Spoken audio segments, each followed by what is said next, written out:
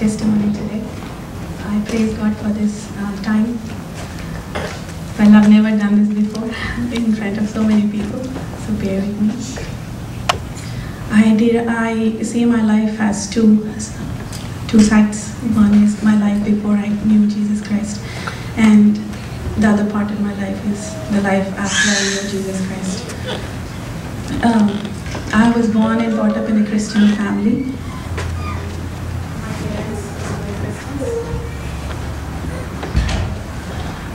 Can you hear me? Yes. Okay. Um, my parents were Christians. Uh, I knew there is God. I knew He's good, He's loving, but I never had a relationship with Him. Well, um, when I was when I was 16 years old, I met some Christian friends. My Christian friends told me that Christian is not being just Christian. There's more to it. I didn't understand. What do you mean? Um, they said, "See, Jesus died for you on the cross." I said, "I know that He died for me on the cross. I know it from the from my childhood." Uh, well, after they told me more, um, I realized there's more to Jesus just dying on the cross. Uh, I've learned that Jesus died on the cross for everybody. Yes, I, I know. But um, I realized that Jesus died for me. Why he died for me. The things when they were saying, I was imagining this great God who made the universe. When I think of the universe, that is so big, and Earth is so big, and then there are rivers, there are oceans, and lands. And then there's countries and there's so many people. And then there I am, a small speck when I think.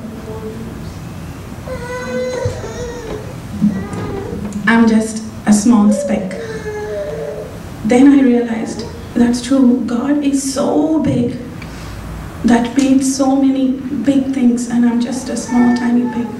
Why should He care about me when I thought of it? That's when I understood He loved me so much. That's um, that when I was 17, I I believed. I said, Lord, yes, I know I'm a sinner. I understood all the things that they were saying, and then I received the Lord into my heart. Uh, when I was 20, I, I took baptism.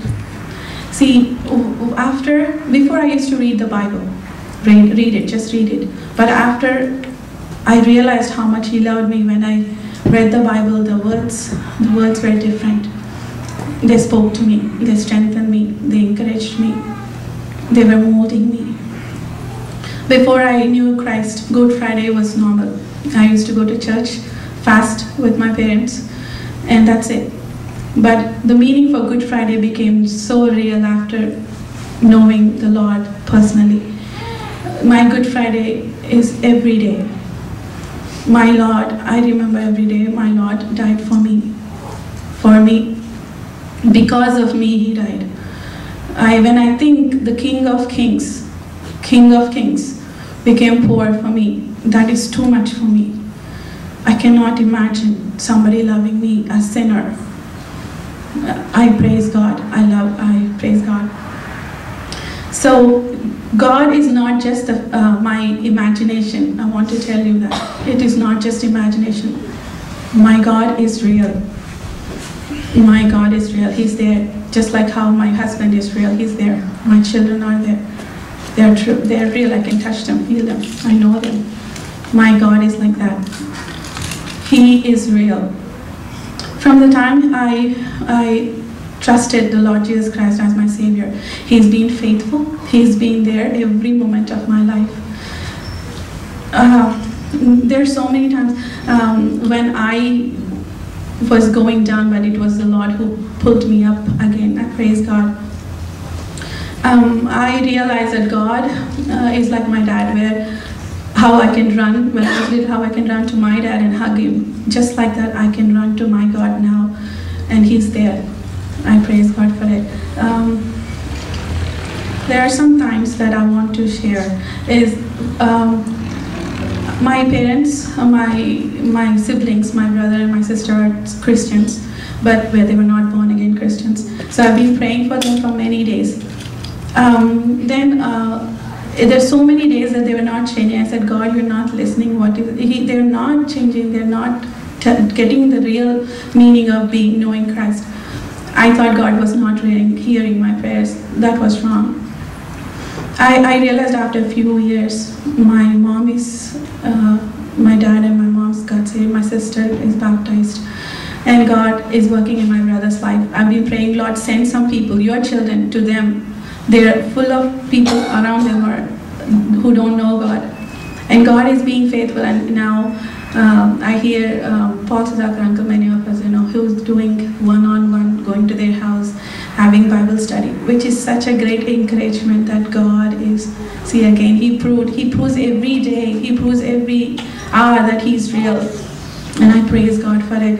Um, I, I shared this uh, with some of you. I want to share this again. There's something really uh, is great in my heart.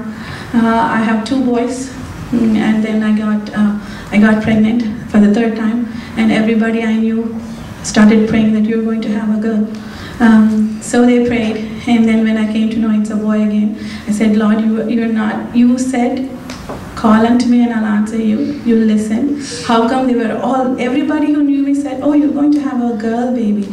We are praying. That prayers were really, it's a, they're earnestly praying. Then why didn't you hear?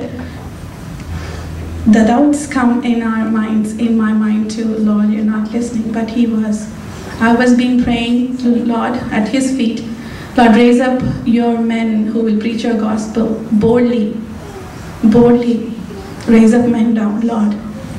And that early in the morning at, uh, at 3 o'clock, I was asking God, how come, Lord, you didn't hear? How come it's, a, it's not a girl, it's a boy? Then God said, I have been hearing to your prayers, all your prayers. He said, you said, raise up men who will preach your gospel boldly. Now I'm rising a man child in your womb and you're asking me why. I couldn't say anything more. My God is so real. He knows what's best for me, for his children. Uh, God is so good. Then there's so, if I keep telling uh, the whole day, will be gone. So there are so many things that God's been faithful in my life. I've experienced it, I, I tasted it, I know He is there. If you, you're a Christian, brothers and sisters, if you're Christians, if you're Hindus, Muslim, it doesn't matter. The only one thing matters is do you know Jesus Christ as your personal Savior? I want you to know there's so many precious promises in the Bible. He said that I uh, cling on to a lot of times is I am His and He is mine. Nothing can separate me from the love of God. That is so good for me. And it says, No man is able to pluck me out of pluck you out of my hand, the Lord says. Such a beautiful promise. So I, if you don't know, I want I you to know him personally today and to make him your Lord and Savior, as I did, and I'm so happy I did. Thank you.